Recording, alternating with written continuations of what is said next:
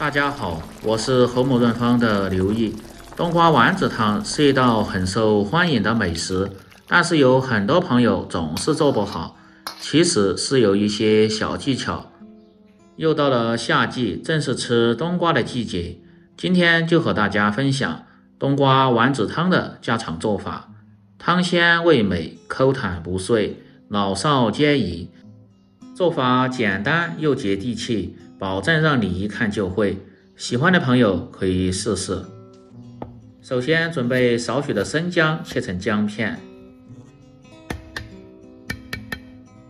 再用刀拍碎，然后切成段。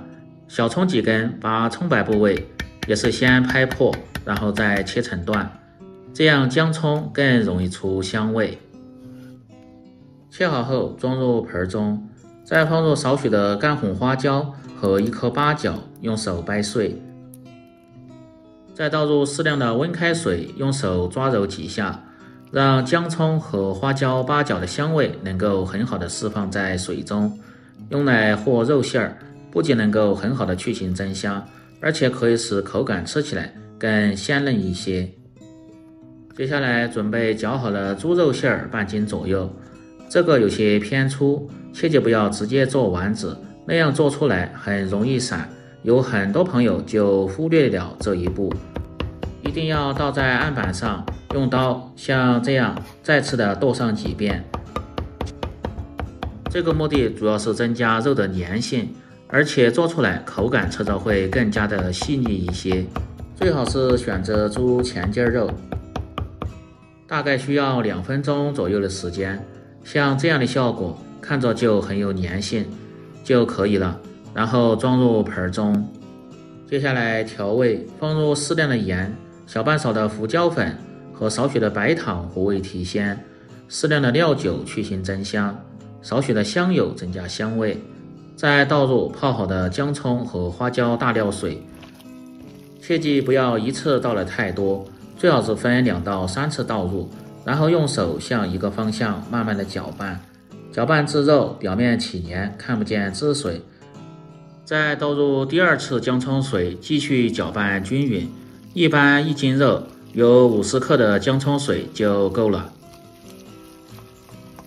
搅拌至肉吸足水分，表面起黏，再打入一个正经的母鸡蛋，主要是增加嫩滑的口感。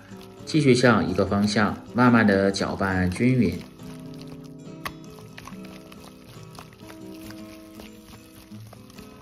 再次搅拌至表面起黏，放入少许的土豆淀粉，继续搅拌均匀。一般一斤肉放入三十克左右的土豆淀粉就可以了，不需要太多，要不然口感吃着容易偏硬。最好是分两次放入淀粉，慢慢的搅拌均匀，这样才不会有疙瘩。最后再多摔拌几下，这样做出的丸子口感吃着会更 Q 弹一些，而且还不易碎。拿在手中不轻易的掉落，用手的虎口能够轻轻的挤出丸子，这样就可以了。再准备少许的粉丝，用温水先浸泡上。接下来切冬瓜，做一份的量，大概有半斤就够了。先去掉外皮，不要。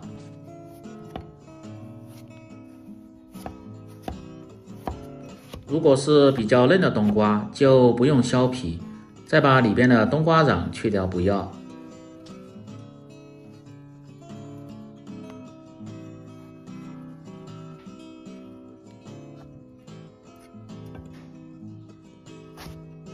接着先改刀切成粗细均匀的条，然后再切成薄薄的厚片，这个稍微要厚一点，切得太薄吃着就没有口感。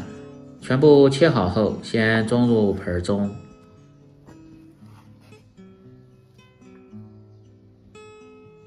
再准备少许的生姜，切成姜片。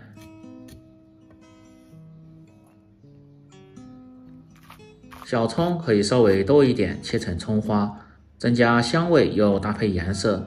做汤菜多放入一些葱花，喝着味道非常的香。接着把泡好的粉丝用剪刀剪成小段。食材准备好后，接下来起锅烹饪。起锅，先把锅烧干，放入少许的葱油，油热后下入姜片，先煸炒出香味。接着倒入冬瓜翻炒，大概四十秒钟，炒出香味。这样做出的汤味道会更鲜香一些。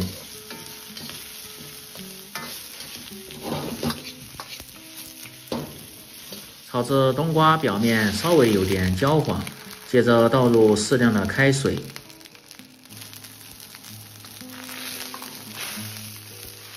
保持大火烧开后，先煮至一分钟，然后关最小的火，用手的虎口像这样慢慢的挤出丸子，放入锅中。下丸子的时候也有小技巧，一定要贴着水面放。这样丸子就不会粘在勺子上边，一定要向不同的方向放入锅中，切记不要放在一堆，这样煮制的时候受热均匀，成型好。全部下完后，把火稍微开大一点，然后盖上锅盖，开锅后煮至两分钟，然后打开锅盖，用勺子推动几下。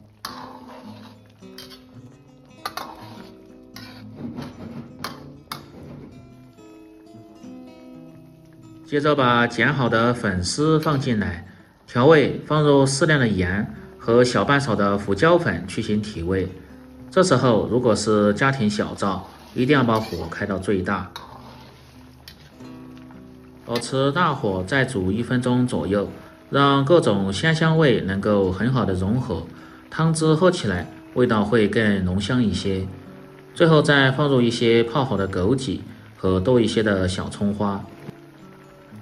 把表面的浮沫一定得打干净，这都是一些油脂，这样做出的汤喝着就不会油腻。看下这丸子是不是很 Q 弹，一个也没碎。然后关火出锅，装入祖传的大碗中，最后再放入少许的香油，增加香味，就可以美美的享用了。冬瓜丸子汤就像这样做，尤其是孩子、女士和老人特别喜欢吃。这样一道简单家常、汤鲜味浓、口弹不碎的冬瓜粉丝丸子汤就做好了。更多家常菜，请关注“刘毅美食”。感谢您的支持，喜欢的朋友记得帮忙点赞、评论、转发、收藏。我们明天再见。